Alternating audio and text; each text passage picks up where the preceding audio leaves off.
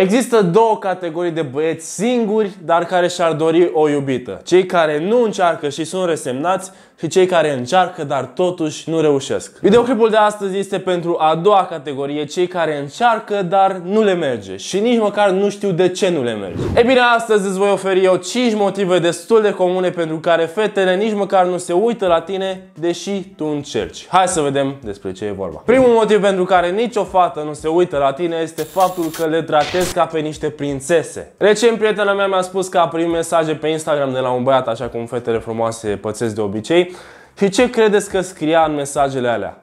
Chestii de genul, Uh, scuze dacă ți rosesc timpul, pare o persoană importantă, nu vreau să te deranjez. Și stăteam și mă gândeam cât de pămpălău să fii să începi o conversație cu o fată în modul ăsta. Adică nici dacă e Shakira nu vorbești așa. Și cel mai rău este că băieții au impresia că sunt văzuți mai bine de fete dacă se poartă așa. De fapt se întâmplă exact invers. Dacă o tratezi ca pe o prințesă, te va trata ca pe un servitor. Acum nici nu trebuie să o jignești sau să-i arăți lipsă de respect. Poartă-te normal, poartă-te ca și cu orice altă persoană. Al doilea motiv pentru care nicio fată nu se uită la tine este faptul că ești plictisitor. La ce mă refer prin plictisitor? Nu știi ce să vorbești, cum să vorbești, nu ieși din rutina relației și nu oferi mister. Hai să le luăm pe rând. Ce să vorbești și cum să vorbești? Ei bine, nu te limita la un singur subiect. Vino cu subiecte noi cât de des poți. Află ce subiecte o interesează pe ea și vorbește despre ele. Nu fi mereu serios, glumește cu ea, tachinează-o. Ce înseamnă să nu ieși din rutina relației? Mergeți mereu în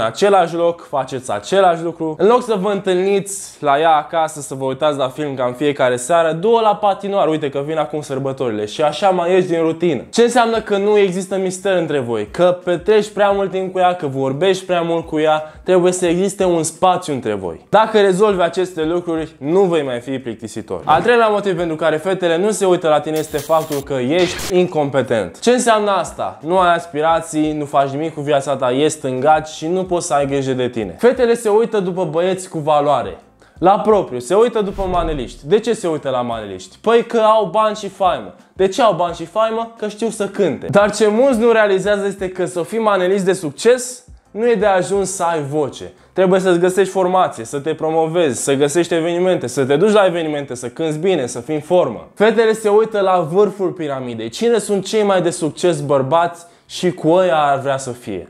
Ca să fii cel mai de succes bărbat în domeniul tău, trebuie să ai tot pachetul. Să ai talent, să muncești mult, să fii serios, să accepti responsabilitatea, asta înseamnă să fii competent Asta își doresc fetele. Al patrulea motiv pentru care nicio fată nu se uită la tine este faptul că ești dubios. Degeaba încerci tu să te bagi în seamă cu fetele, să vorbești cu ele, să-ți dai silința să te placă dacă primul lucru pe care îl zice ce faci păpușe, hai să te scoli la un suculeț de pere. Trebuie să înveți să fii puțin mai rafinat, mai elegant, mai ales la primul contact, pentru că altfel vei fi privit ca un dubios. Lasă deoparte replicile de agățat îți garantez că nu o să te ajute. Și al cincilea motiv pentru care nicio fată nu se uită la tine este faptul că ești urât. Am mai spus asta. Pentru mine a fi urât înseamnă să nu-ți dai silința pentru a-ți îmbunătăți aspectul. Sunt băieți care pur și simplu nu au grijă de ei, nu au grijă de igiena personală de bază. Îți garantez oricât de bine ai ști să vorbești cu fetele, oricât de mult ți-ai dat silința, dacă ai părul suros, dacă miroși urât, dacă spute gura, dacă provoci scârbă când cineva se uită la tine,